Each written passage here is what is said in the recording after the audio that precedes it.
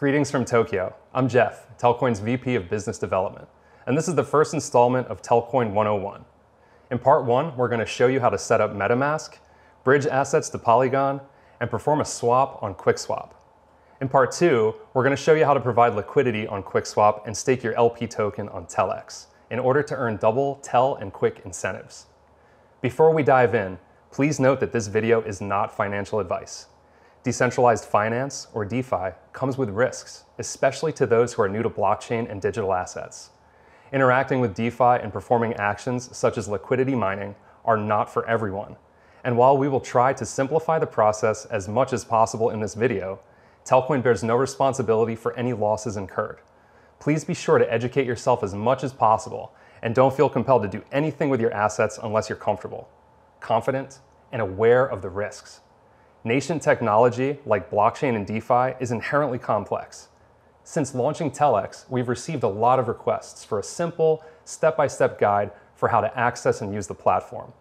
As someone who never interacted with digital assets until joining Telcoin as an advisor back in 2017, I hope my explanations, coming from someone who had to learn by doing, mistakes and all, with nothing but Medium or Reddit posts and YouTube videos, makes not only TELX more accessible, but helps you feel more confident with everything that comes before it.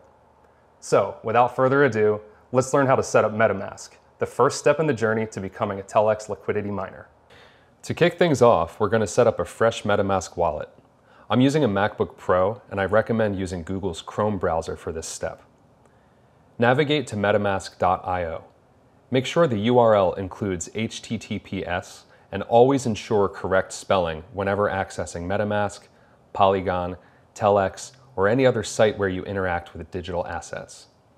We'll also add all the relevant URLs from this video to the description below. Click on Install MetaMask for Chrome, and then click Add to Chrome on the Chrome Web Store page that pops up. Then click on Add Extension. On the new MetaMask window that pops up, click on Get Started. Create a wallet, agree to the terms, and type in a strong password. Make sure this password is not recycled for added security. And remember, if you forget it, you will have to recover your wallet with the recovery phrase. Feel free to watch the video about securing your wallet and click Next. Make sure you have a pen and paper handy to write down your recovery phrase. You can take a screen grab or save it on your machine, but I suggest a handwritten note for added security. Just make sure you put it somewhere safe, because if you forget your password, you won't be able to access any tokens on MetaMask without the recovery phrase. For the purpose of this video, I'm going to skip the recovery phrase part, as it's something you can come back to. But I suggest you take the words down when prompted, as the next step requires you to input them in order to confirm that you've saved the recovery phrase correctly. Now that you've successfully set up MetaMask, it's time to put some assets in that wallet. For this step, I'll be sending ETH from a Ledger Nano hardware wallet via Ledger Live. Note that Ledger offers direct integration with MetaMask, but I'm doing this step manually under the assumption that many of you are using other kinds of wallets. You can send ERC20 tokens from a variety of platforms, including the Telcoin application or an exchange. I'm going to click on Account 1 to copy my MetaMask wallet address to the clipboard. I'm going to paste that into the Notes app so I can see the whole thing, and then copy it again. Next, I'm going to go over to Ledger Live and click on Send. I'm choosing my Ethereum test account, and then pasting my MetaMask wallet address in the recipient address field, and clicking Continue. I'm going to send 1.75 ETH to my MetaMask wallet. So I'll input the amount. I'll stick with medium for the transfer speed and click continue. Then I verify everything on my Ledger device, double check that the address is correct, and approve the transaction. Now it's being broadcast and should land in my MetaMask wallet in just a few minutes.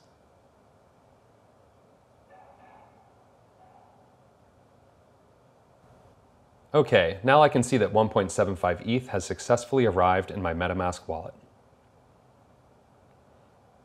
For the next step, we're going to send some of that ETH over the Polygon bridge and into the Polygon network, which is a layer 2 scaling solution for Ethereum. What that basically means is that Polygon exists in parallel with the Ethereum mainnet. But since it has its own bespoke infrastructure, transactions are significantly cheaper and often much faster as well.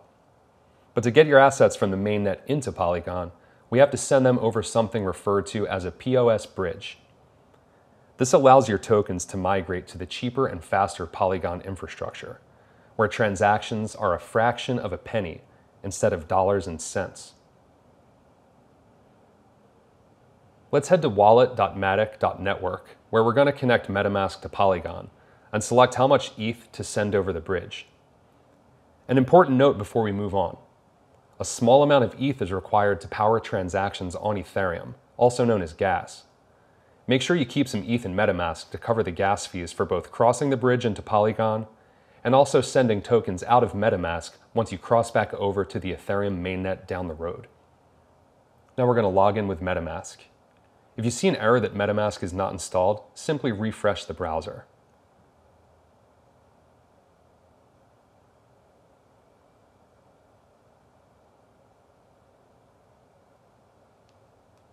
Click Next and connect.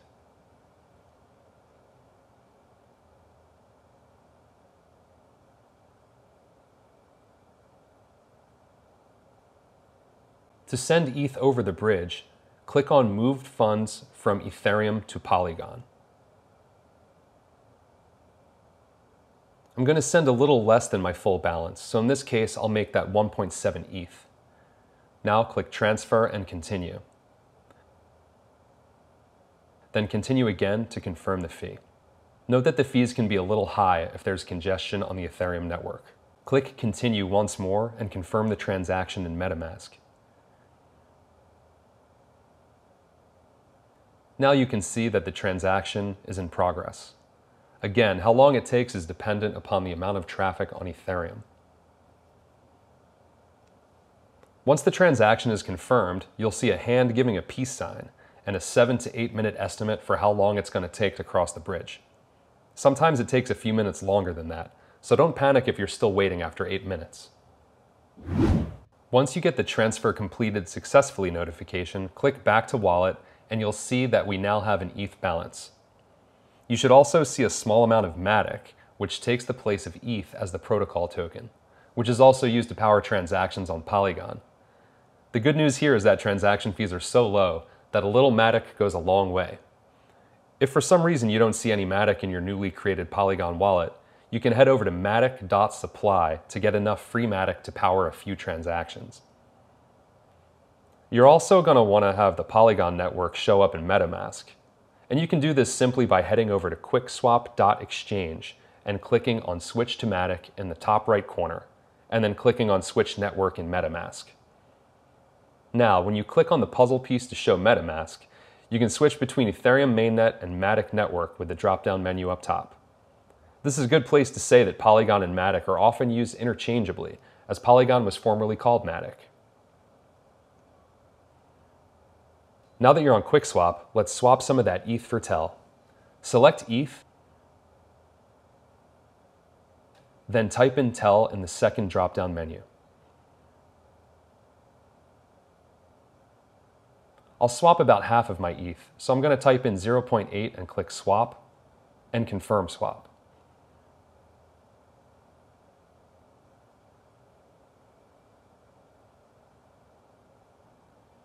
Approve the transaction in MetaMask and give it a minute or two to go through.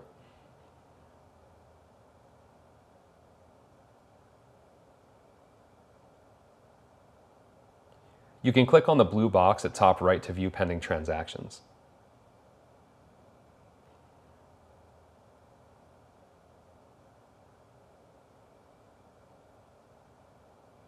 Excellent, now you've got some TEL, and you're well on your way to becoming a Polygon and QuickSwap expert. Stay tuned for part two, where we'll show you how to add liquidity on QuickSwap and then become a liquidity miner on TELX. Now that you've successfully set up MetaMask, bridged assets to Polygon, and executed a swap on QuickSwap, you're almost ready to jump in the pool and start liquidity mining. If you have any questions or requests for future videos, Be sure to comment below or head over to our official Telegram community channel to share your input and ideas. You can also hashtag Telcoin101 with any questions or feedback about this video on Twitter. Check the video description for relevant links and a full disclaimer. And be sure to like and subscribe for more Telcoin content. Thanks for watching.